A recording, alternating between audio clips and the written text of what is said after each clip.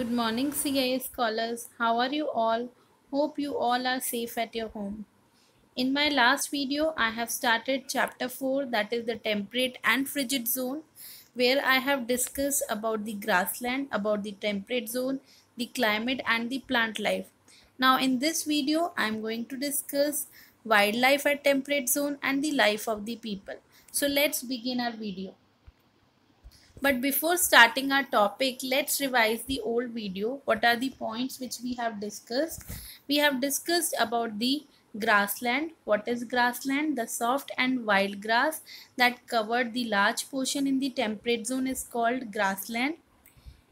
Now these grassland are known by different names in the different countries and continents like in North America it is called with prairies. In Russia it is called steppes in South America, Pampas. In South Africa, it is Velders. Then in Australia, it is Downs. Now, what about the climate? The climate in the temperate zone is extremely hot during the summer and quite cold in winter season. There is moderate rainfall during summer and heavy snowfall during winter. What about the plant life? The temperate grassland are generally treeless. There are no trees only there are some grasses. And what are the common grasses which are found in this region? These are ryegrass buffalo grass foxtail and alfalfa. There are some crops which are being grown by farmers. What are the names of these crops? Wheat and corn.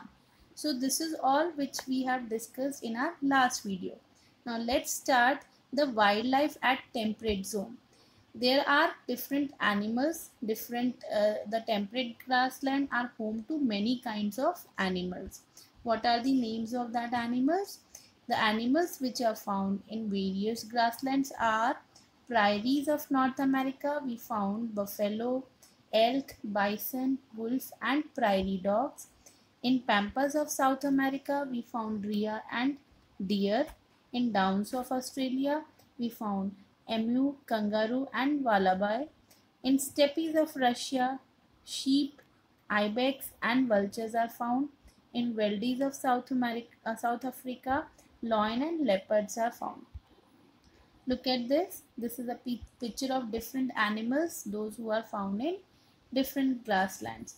This is wallaby, this is grey fox, ibex, elk. So these are the different animals. Now let's see some of the animals and its unique features. First of all, we have prairies dog. Look at this. They don't look like a dog. They look like a squirrel. Yes. So what are the features? All five species of prairie dogs belong to the squirrel family and they are found in North America.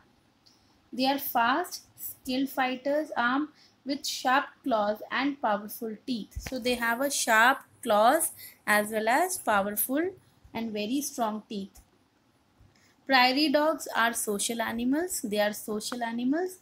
They live underground in a family groups called coteries. So this is all the features of prairie dog. Now let's find, see the other animal that is elk. They are also found in North, North America this is a deer in an herbivorous family. This deer is an herbivore who feeds upon plants. Their usual diet is based on wide variety of vegetation including leaves and bark of trees. Elks are found in prairies of North America and they produces a unique sound which is called a bark. And then when threatened these animals communicate with each other. So if there is any kind of danger then they communicate with each other through various signals and through various sound such as hissing curling back the upper lip and grinding the teeth. So through that they can communicate with each other. So these are some of the features of elk. Now let's see the other animal. This is ibex and they are found in steppes of russia now this is ibex is basically a wild goat which are found in steppes in Russia. They are herbivorous. They only eat vegetation such as shrubs, bushes and grasses. And they can jump more than 6 feet straight up without a running start. This helps them to climb mountains and big rocks. So this is what these are some of the features of ibex. Now let's see the other animal. This is a bird that is emu. It is found in Downs in Australia. And do you know that it is the second biggest bird in the world? So emu are the second biggest bird in the world. They are found in Downs of Australia and they are 5.2 to 6 feet 6.5 feet high look at this how high this bird is 5.2 to 6.5 feet high and their weight is between 66 to 100 pounds they eat plants and insects like grasshoppers beetles and cockroaches they can live between 10 and 20 years in the wild so what is their uh, lifespan they live between 10 to 20 years in wild. They are covered in soft, fluffy feathers. They have two sets of eyelids, one for blinking and other for keeping the dust out. They are Australia's national bird. So they are also the Australia's national bird and they appear on its 50% coin. So this is all the features of emu. I hope that through this you will get a lot of information about all these animals, those who are found in these grassland. Now let's see what is the life of people in these grassland. The temperate grasslands are densely populated because most of the area has been cleared for agriculture purpose. Now farming is the main occupation. So people, those who are living here, they do farming in these grassland.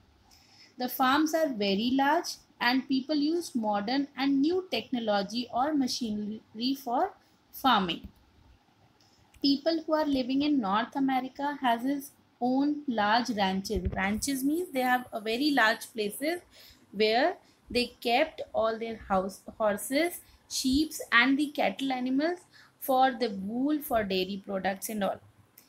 People who live in downs of Australia keep merino sheep so those who are uh, living in Australia, downs of Australia, they keep merino sheep and merino sheep gives a fine quality of wool which is known as merino wool. So this is all about life of the people.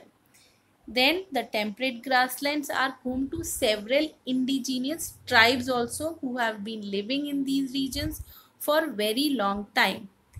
The Raigers tribes of steppes, the Hottentots of South Africa and the American Indians of North America are some of the tribes that live in this temperate grassland. So these are the names of some tribes. So this is all about the life of the people. Now what are the words which you have to remember? The words which you have to remember are first is grassland Grassland means a large open area covered with wild and soft grass. Second is Chinook. This I have already discussed in the last video. What is Chinook? A hot dry winds which blow over the grassland in North America. Then indigenous people who belong to a particular place and have not migrated from another place that is indigenous and a ranch ranch uh, this also this word came in in this video only a large farm where animals like cattle cow and sheep are reared. They are kept there. So this is all the words which you have to remember and keep in your mind. Now what you have to do you have to read chapter 4 especially page number 43 and 44 and underline all the hard words which are which with pencil.